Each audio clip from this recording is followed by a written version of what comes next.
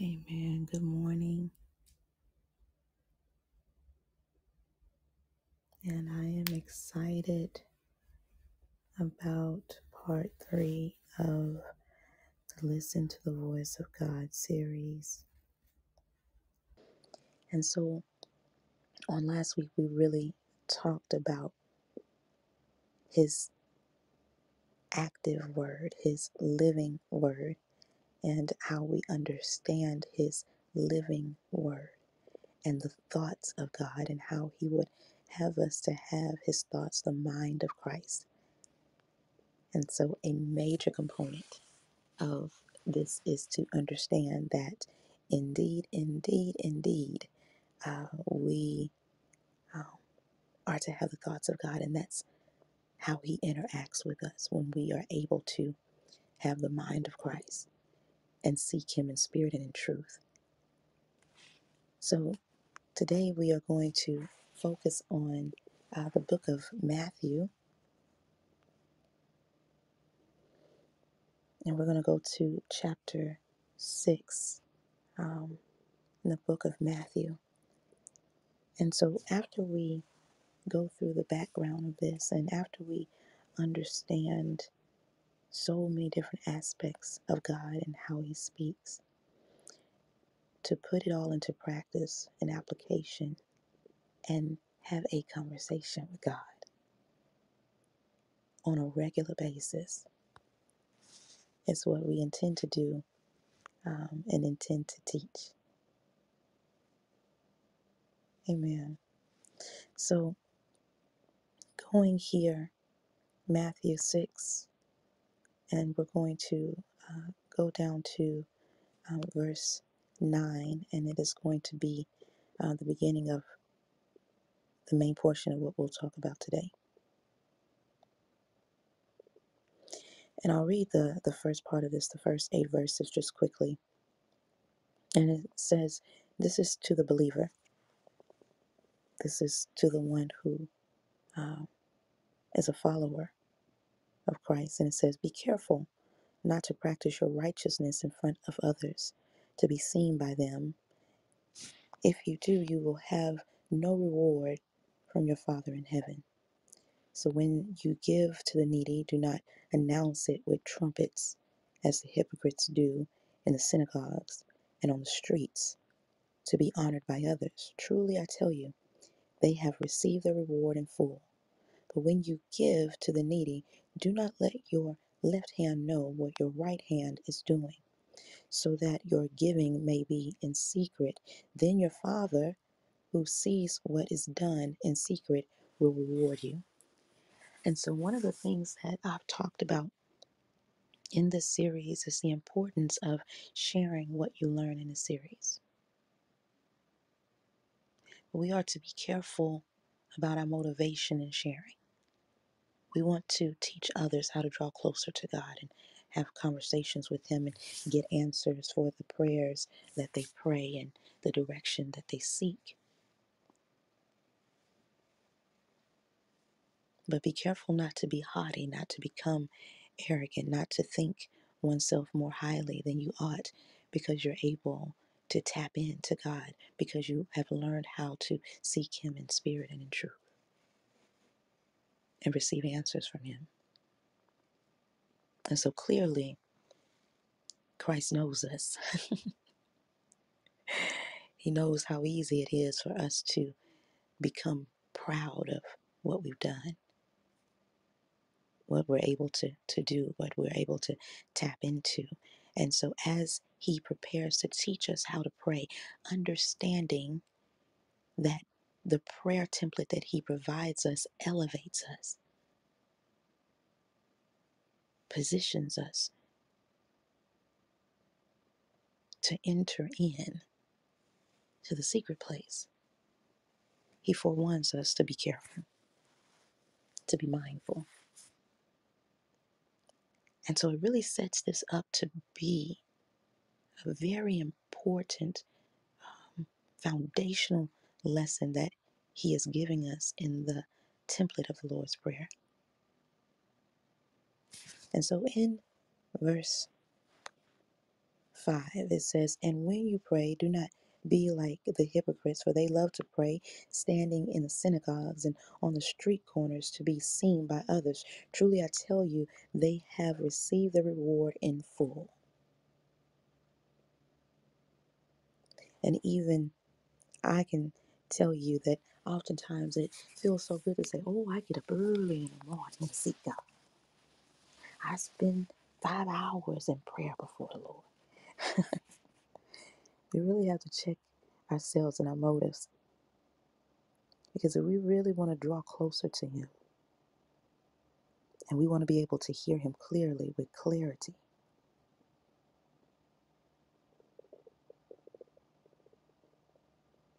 then we have to remain humble before Him. The position that we take is a position of humbleness. When you go before the Lord in any other position, with it being tainted, then it convolutes your conversation with God. It makes it harder to bind distractions.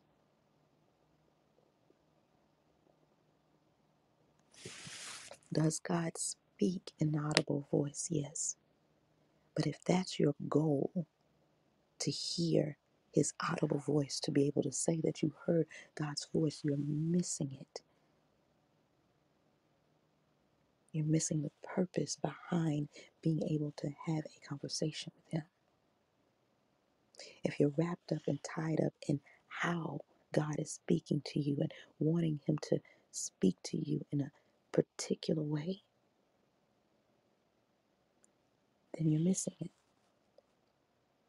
I'm not speaking about asking God for uh, a confirmation. That's not what I'm saying. In fact, we had someone ask a question on Friday, on last Friday. How do you know that it's God that's speaking? And one thing you can always do is ask for scripture for confirmation. The enemy is not going to speak to you in truth. The enemy speaks to you in part, wants to twist the truth. So, one thing that the enemy is not going to do is direct you to your word to read it in full. So, receiving a scripture, receiving a verse, a passage of scripture that comes from the Lord. And so, here in verse 6, it says, But when you pray, go into your room, close the door, and, and pray to your Father who is unseen. Then your Father who sees what is done in secret will reward you. And so, we want to get into a practice of drawing closer to Him, building a one on one relationship with Him So then, when we are before the people and we are asked to pray, we go before the Lord, then we're able to hear more clearly what God has to say.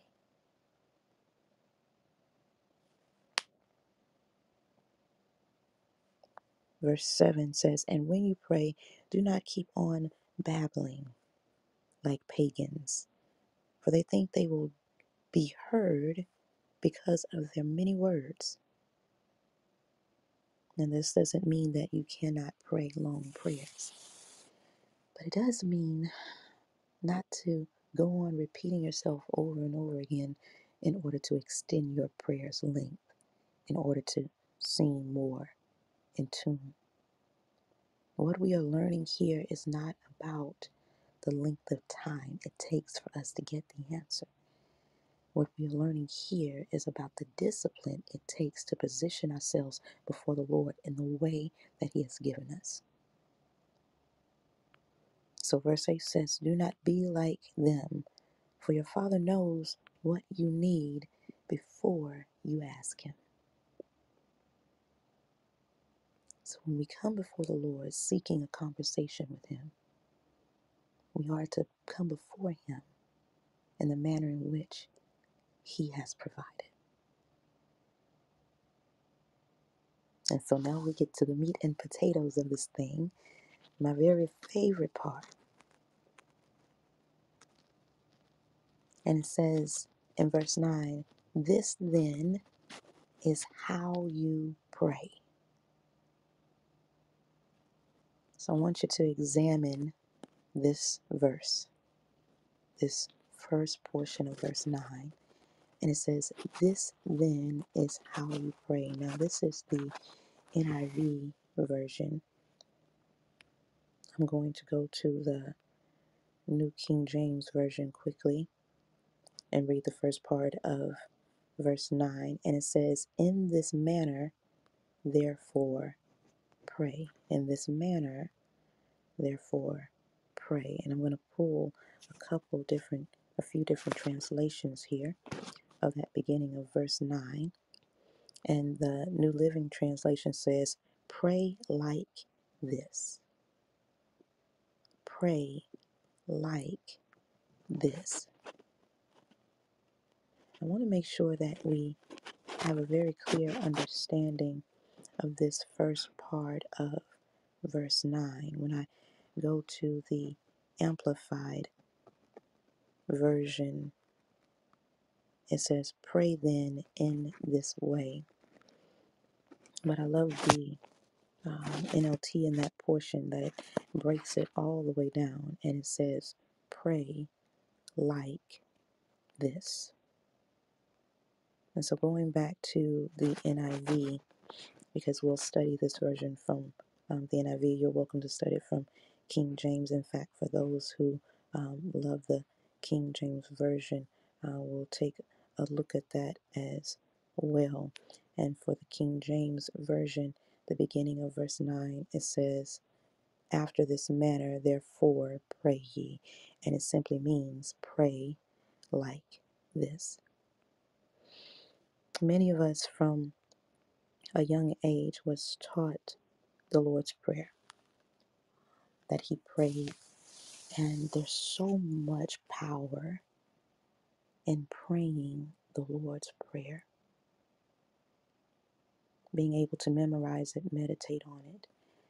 It's a very powerful prayer. But I want us to understand that there's more to this prayer than praying it verbatim. There's more to it than praying it word for word. Praying this prayer also has an understanding of what each portion of this prayer is teaching us. It's important that we understand the meaning behind it. Much like the Old Testament and the things that the Israelites were given to do, it wasn't just for them to do them, but it was for them to understand why it needed to be done. Because as we cross over into the New Testament canon, There were several who were confused, like the Pharisees, because they were stuck on just doing a thing and not understanding the value behind what they've done. Taking it for only face value to not understand that you can dig a little deeper, understand it a little bit better. And so, while yes, it is important for us to learn the Lord's Prayer, be able to uh, pray the Lord's Prayer, He wants us to understand that it is a template, it is a teaching tool, a guide for us to know how to enter in, how to position ourselves to have a conversation with Him. After all, prayer is communication with God.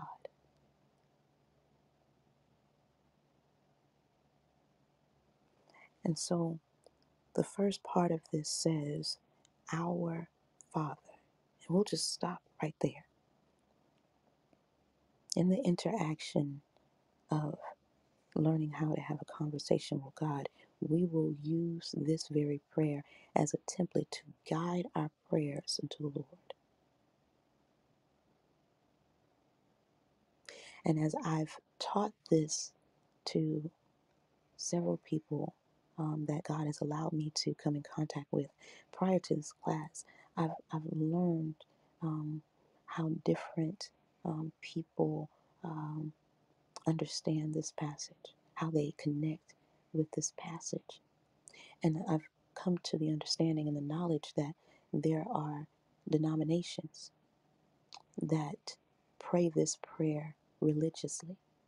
Um, and when I say religiously, I don't mean that in a negative term. It is just that there are denominations that this is a part of um, a daily,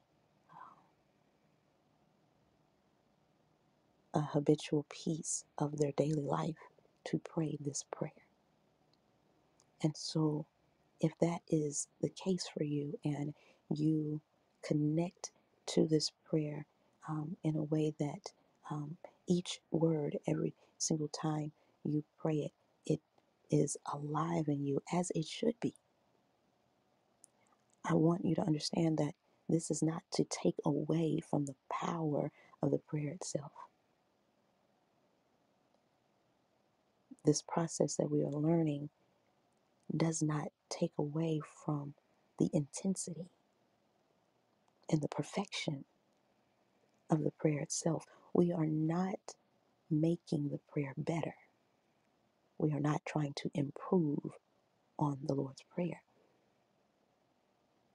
We are simply diving deeper and drawing closer to the Lord by doing it just as He stated, understanding that this is a template into teaching us how we are to pray. To pray like this. So, in the very first part where it says, Our Father, This is really very important because it connects to Romans 10 and 9. Romans 10 and 9 is the prayer of salvation, and it says that if you confess with your mouth that Jesus is Lord, you have to know who you're talking to. This is your salutation, this is your declaration that God is your God. This is you proclaiming and addressing Him formally. Just as you walk up to uh, a parent and say mom or dad, just as you walk up to a teacher and say miss or Mr. So and so, just as you address your best friend when you see them across the way, hey, bestie, whatever the case may be, you are first positioning yourself by announcing who you're talking to. who you are addressing. And so this becomes a very important part as an introduction to our prayer because there are many different aspects of who God is. He is vast and He carries many names. And so there are times that I approach Him according to what I need from Him in that conversation. Just like a husband and a wife will sometimes call each other by their first name. Sometimes they'll call each other by a nickname. Sometimes they'll just um, address each other by something playful, whatever the case may be, depending on what is going on in that moment. It's how they address them. A parent will call their child differently according to what is going on in the situation. My children know that if I call them by their whole name, they better get to me quickly There's a call to attention in the way that I call them. And so there are times that I start my prayer off with Father God because I'm addressing him as my Abba, as my Father. I need my daddy. There are times that I approach him and I say, Almighty God, because I'm in need of his power. If I approach him as husband, I am approaching him as head of my household. I'm needing guidance and instruction on decision making. I'm wanting to know which direction He wants me to go regarding the house, the kids, our family. So get used to learning God in different ways and being able to call Him by name according to how the conversation is to go. And after this, you have our Father in heaven.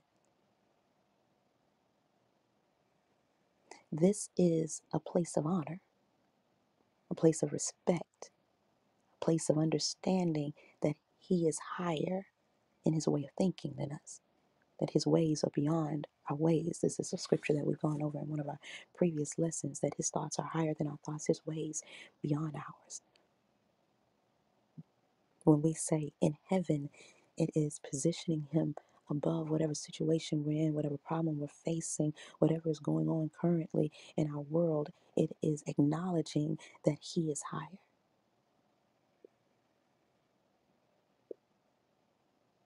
This is a place of reverence and respect.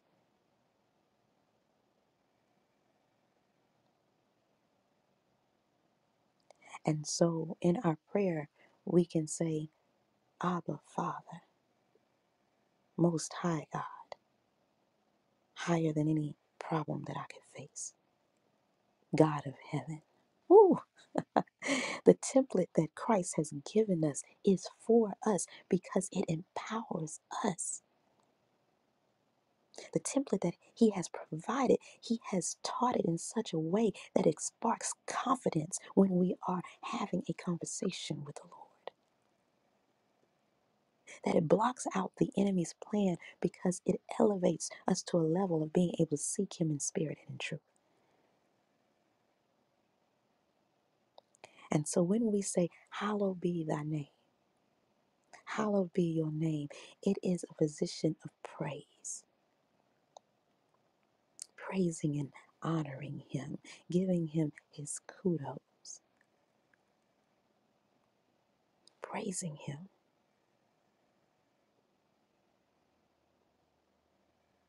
So I love this because when you're praising God, you're focused on the goodness of the Lord. When you're praising Him, you're not focused on the pain, you're not focused on um, the, the thing that would make you depressed or anxious. When you're giving Him praise, you can't help but to feel a certain way when you are acknowledging you're a good, good Father You are amazing in all your ways. Lord, you are triumphant in all that you do. You are truthful God, an honorable God, holy God, a sovereign God.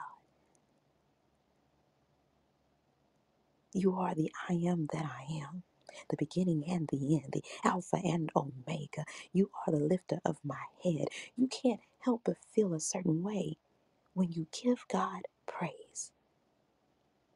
when you bless his name So, hallowed be thy name is blessing the name of God, blessing who he is, giving him his due props. That's hallowed be thy name. And so, you move forward to uh, your kingdom come,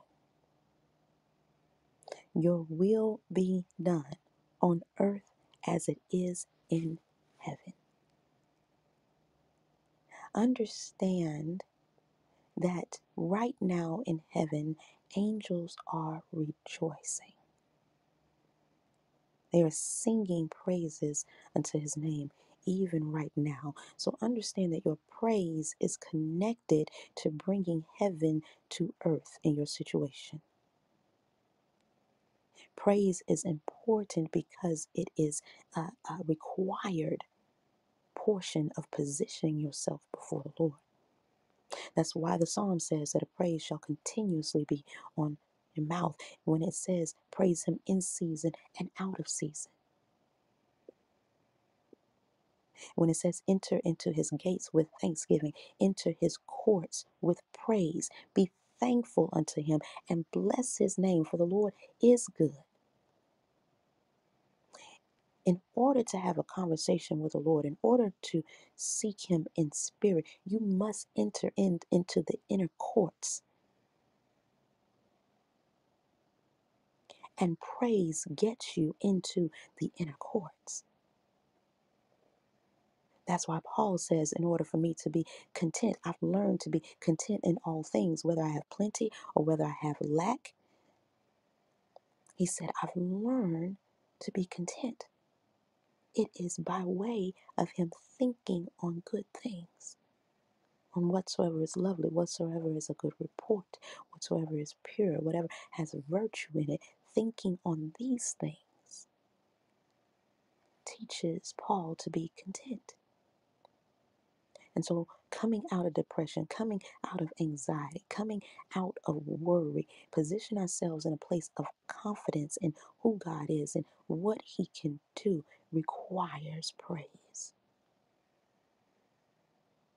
In fact, when you go to the psalm and it talks about enter into his gates with thanksgiving, enter into his courts with praise, it behooves you, it helps you to sing songs of praise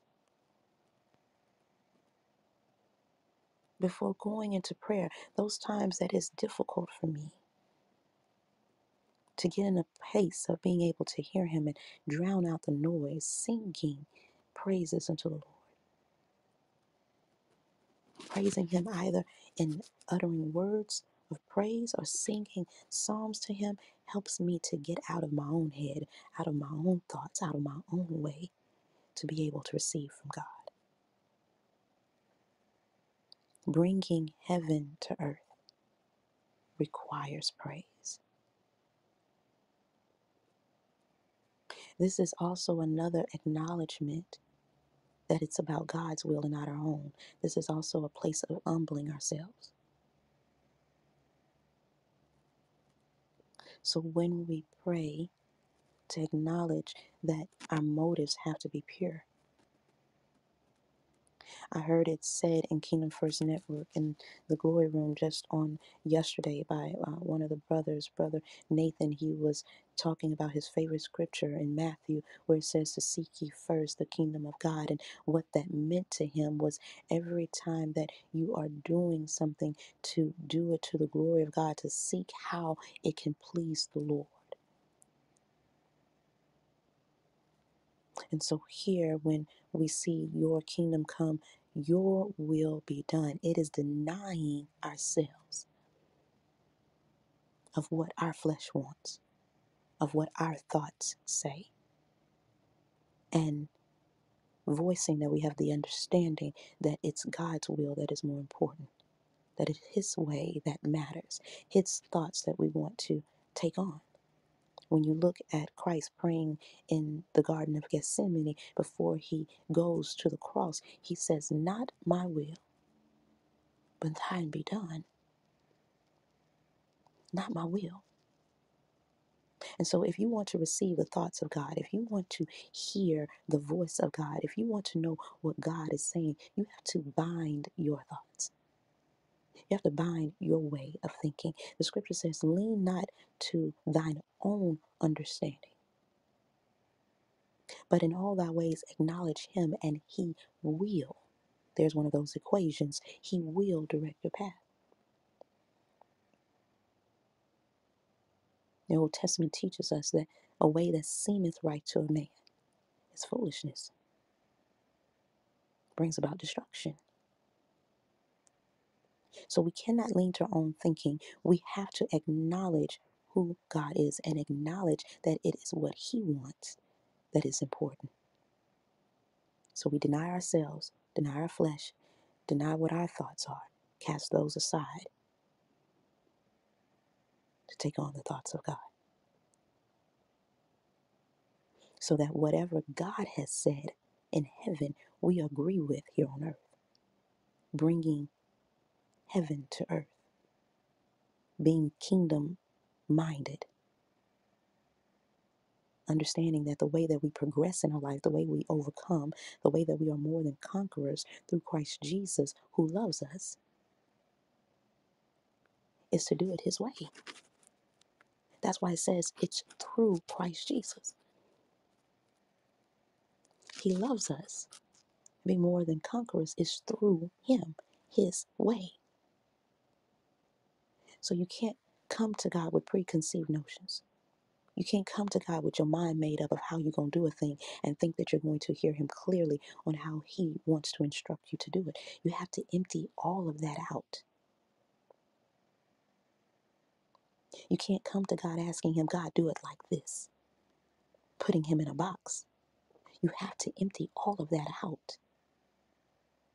You have to rebuke all of that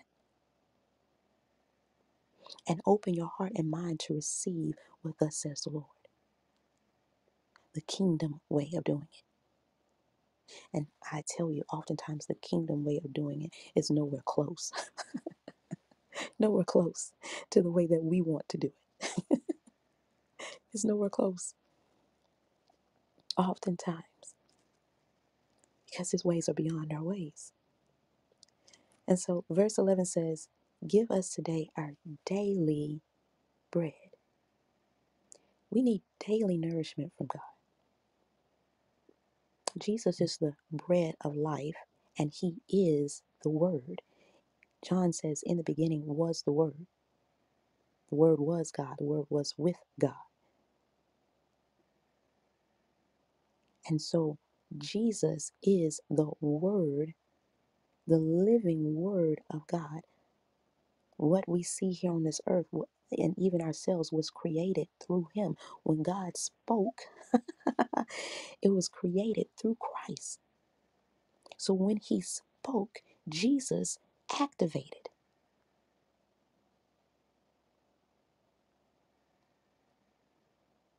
So the daily bread that we seek is the Word. And there is a word for us every single day. In fact, there's a word for every situation. I believe it's Corinthians. I have to dig deeper. Um, I believe it's Corinthians that teaches us that all scripture is good for reproof, for instruction, for guidance. All scripture. So no matter what we face in life, there is a verse somewhere between Genesis and Revelation. There's a passage of scripture, there's an understanding somewhere between Genesis and Revelation that we can apply to our situation. No matter how much technology comes about, no matter how advanced man gets, no matter how advanced God allows man to get, there is nothing beyond the reach of a scripture. No matter how many languages you learn, no matter how many degrees are behind you that you've been able to obtain, there is nothing in your life that takes place that a scripture cannot answer, for it is the bread of life. It is your daily nourishment. And so people say, well, how are we supposed to know how to date? They didn't date in the Bible. They didn't go out for candlelight dinners and, and to the movies and and and and be about different people throughout the course of their life and then choose one to marry. And I say to you that again, no matter what situation is in your life, there is a passage of scripture to answer, to give you direction, to give you confirmation, to give you guidance, to give you correction, to teach you, to advise you. It is there. And sometimes the advisement that we get is that something should not be done. Sometimes the advisement that we get is how to do it within the confines of today.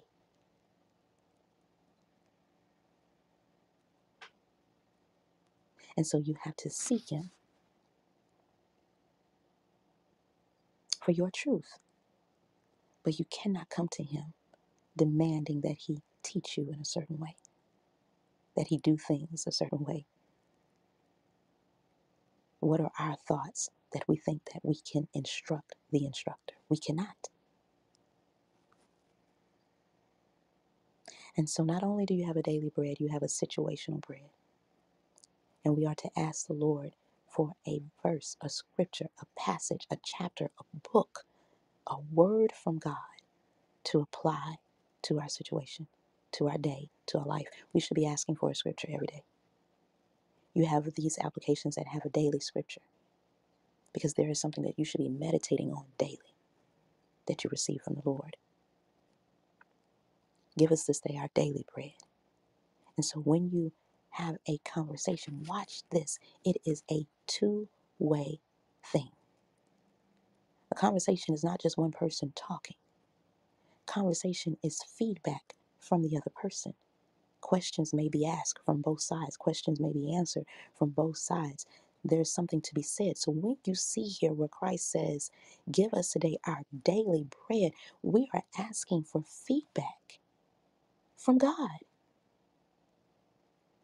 This is a two way communication. Prayer is not one sided. We've heard that said, but here is the proof in the pudding that Christ Himself said, Give us this day our daily bread. In our prayer life, we are to wait for an answer from God. We are to listen for His voice. We are to listen for His instructions. We are to listen for what He has to say. It is a two way conversation, it is meant to be communication. It is not just us giving him praises. It is not just us going to him asking for what we need. It is not just us going in repentance and saying what we've done and confession. There is also a part where God speaks. And too often we say, Amen, get up from our knees and walk away without hearing what God has said. It is a two way conversation.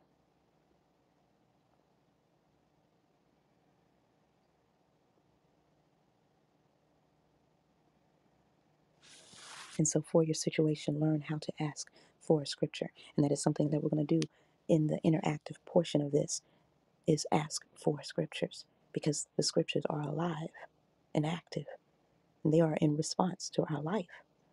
They are in preparation of what we are to do.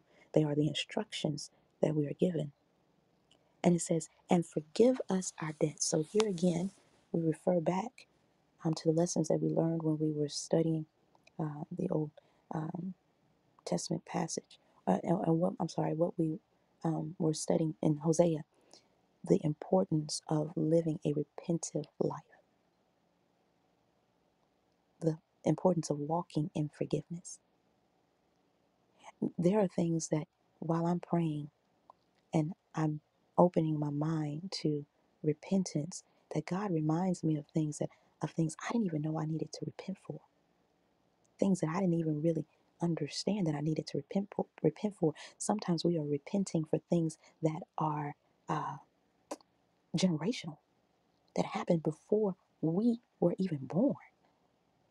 Sometimes we are repenting for things that we did when we were 10 years old So when we are doing this interactive piece and we are praying, it is for us to open ourselves to receive whatever God has for us in those thoughts.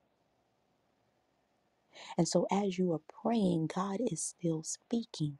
And so when you are saying, forgive us of our debts, you are to uh, explore that. What are my debts? Because remember, there's a confession. Confess your faults. There's a confession in repentance. So as I'm praying, communicating, as I'm communicating with God in my prayer, I'm saying, Lord, please forgive me of, and I'm allowing God to fill in the blank, remembering that his thoughts are higher than ours. So whatever thought comes to my mind in that moment when I open my mouth and I yield to the Holy Spirit to show me and reveal to me what I need to repent for.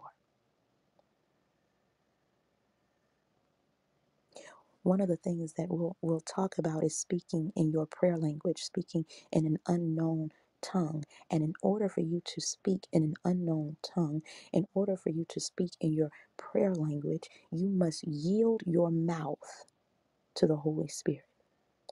You must make your mouth available to the Holy Spirit in order for the Holy Spirit to intercede on your behalf. You must give up control of your mouth. Making your mouth available oftentimes just means opening your mouth and saying, Holy Spirit, speak through me. Likewise, in being able to pray a prayer of repentance, you have buried and been in denial about some of the stuff that you need to lay before the Lord. So, in this two way communication, you open your mouth and allow the thoughts of God to guide your tongue in what you are to repent for. In your prayer, you can even say, Lord, show me what I need to repent for, what I need to repent of. Holy Spirit, speak through me and what I need to repent of. And just you making your mouth available unto God helps you to be able to know how to repent. And so from there, from there, it says, as we also have forgiven our debtors. Forgiveness is a two part process. Anytime, anytime, every time we ask for forgiveness, we should also be forgiving someone else. Remember, verse 9 of this passage says, Pray like this. Don't get so busy asking for forgiveness of all the things that we have done and forget to let go of what's been done to us. Remember the parable in the Bible where there was a man who owed the king. The king let him go, forgave his debt. That same man went and found a, a brother in the community who owed him, and he ah, treated him beyond unfairly because he didn't have what he owed him. The king found out about it and was disgusted, and he paid for it dearly. Forgiveness is a two part process. We repent but we also forgive others. And here's another opportunity to allow the thoughts of God to fill in your blank of your prayer. And it is a declaration. This portion is a declaration of letting someone go. Forgiveness frees your heart to receive from God. Letting go of bitterness and anger frees you to hear from the Lord. Oftentimes we hear a good word, but it falls on stony ground because we are harboring anger and bitterness and malice. And we're wondering why we can't get an answer from the Lord. And we're wondering why it can't be clear because we are harboring anger, bitterness, unforgiveness. And so allow God to fill in the blank.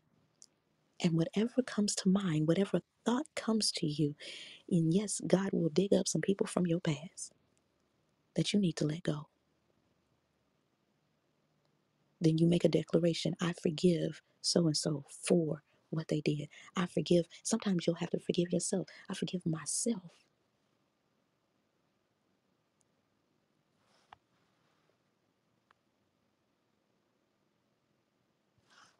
And so as we carry on, it says, And lead us not into temptation, but deliver us from the evil one. This is a prayer of protection of your thoughts. Don't even let me be tempted to think my own way. Don't even let me be tempted to go back and pick up anger. Don't even let me be tempted to go back and pick up bitterness. Don't even let me be tempted to be distracted by my environment or distracted by my uh, sorrows or my problems or my situation. Don't even let me be tempted to have the wrong motive in this moment. Don't even let me be tempted.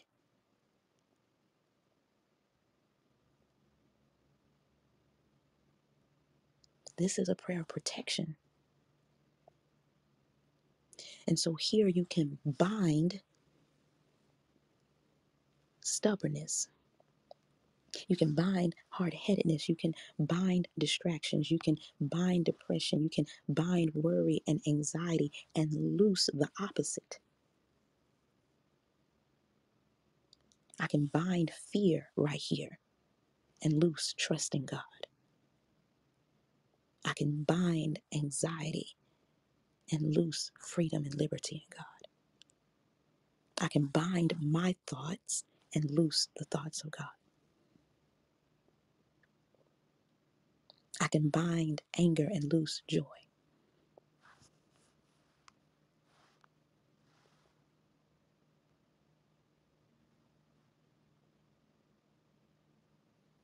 And so you want to protect your conversation with the Lord here. And you want to acknowledge the thoughts of God because that's what will block your thoughts. Binding your thoughts, accepting God's thoughts, acknowledging Holy Spirit. We talked about that within this prayer. And so you want to acknowledge Holy Spirit, the presence of God And verse 14 says, For if you forgive other people when they sin against you, your heavenly Father will also forgive you. Verse 15, But if you do not forgive others their sins, your Father will not forgive your sins. Um, in another uh, version um, of this, it says, um, For the glory, for the glory.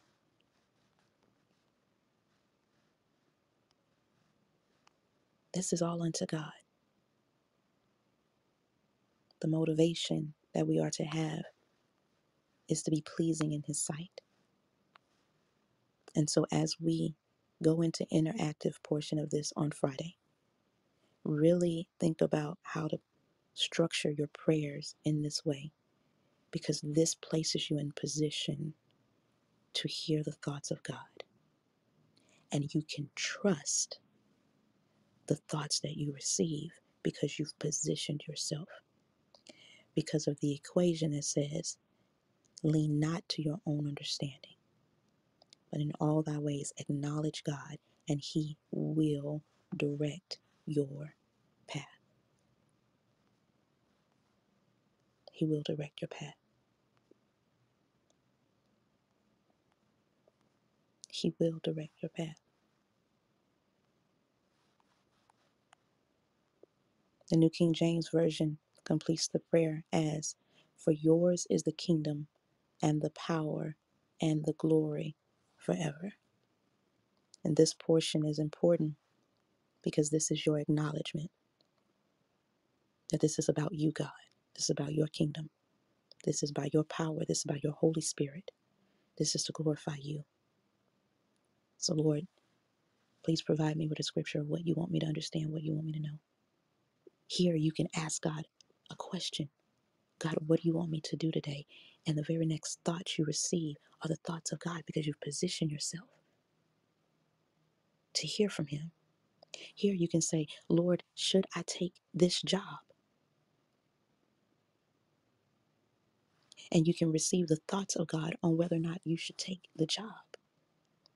This opens up communication because now you've positioned yourself and you're seeking Him in spirit. Now you're in the spiritual realm because you've done it God's way. You've made sure that you've done it God's way because you followed His template. You didn't leave anything out. So you can be assured that what you receive from Him is of God. So after you've bound your thoughts, after you've bound anything from the enemy, you are acknowledging God. You are acknowledging the presence of the Holy Spirit and asking for direction and then trusting. Watch this. The Word of God says that he who wants wisdom, let him ask for it, believing God is going to give you wisdom when you ask for it. You have to trust the answer that He gives you. So, these conversations that we're going to have with the Lord are not in vain. You don't ask God which direction to go and then go on your own.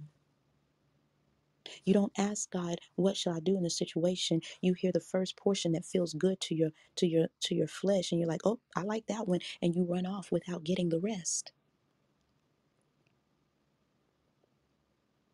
This is a full conversation with God.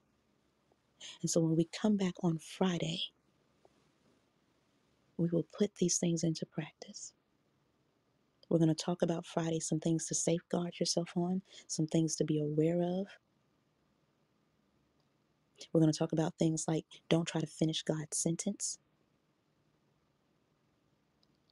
When you feel that your thoughts are trying to urge them bump themselves in, you can tell when you're trying to finish God's sentence, when you're trying to figure out what He wants to do, and you're trying to start to plan it out for yourself, and you've taken control back, you start again. You rebuke your thoughts. Nope, God, this is not about me, not about what I want. I rebuke my thoughts. I receive yours. I acknowledge you, Holy Spirit. Lead and guide my path. Show me, Holy Spirit, what God wants to say. Um, for those who may be hearing this recording, one thing that I end this class with um, is opening the doors to the church, as they say, or an invitation to accept Christ in your life. Um, because to communicate with Him, you must first accept who He is. Jesus said that He is the way, the truth, and the life, that none, none come to the Father but by Him. And to, to be able to hear the voice of God, you must have relationship with His Son, with His only begotten Son. John 3:16 says, For God so loved the world that he gave his only begotten Son, for whosoever believeth in him shall not perish but have eternal life. And so this body, this flesh will pass away, but our soul, our spirit, our soul can be saved from the wages of sin, which is death, eternal death. And so Jesus paid the, the price of that. Romans 10 and 9 says, If you confess with your mouth that Jesus is Lord and believe in your heart that God raised him from the dead, thou will be saved. And so you can repeat after me this prayer that says that I want Jesus to be my Savior. I want to accept Him. I want to be able to have communication with God. He is a very present help. He is not, salvation is not just for us to go to heaven, but salvation is for us right here on this earth. He wants to interact with us, He wants to talk with us and guide us and lead us. And so you can repeat after me now Dear God, I know mankind needs a Savior. I know I can't save myself. Jesus, I believe that you are the Son of God. I believe you died on the cross and rose again to save me. Right now, I confess my faults, that I've been lost, and that I need you as a Savior. I want you as my Lord. And I confess that I am forgiven because you redeemed me. And it's this in Jesus' name that I believe that God raised you from the dead,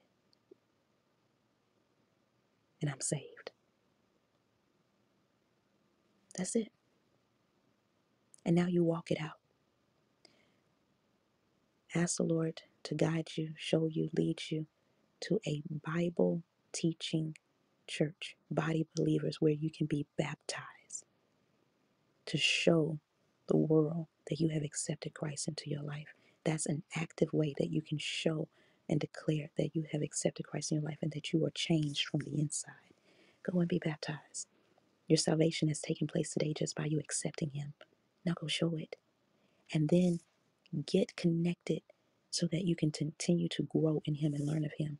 Father God, Lord, we thank you and we praise you. We glorify your holy and your righteous name because you alone are worthy to be praised. We pray that this word has fallen on good soil today and that people are able to take heed of what you have said, to apply it to their life, to live it out, and that we are more intentional about having conversations with you throughout our day. It's in Jesus' most precious and holy name we do pray. Amen, amen, and amen.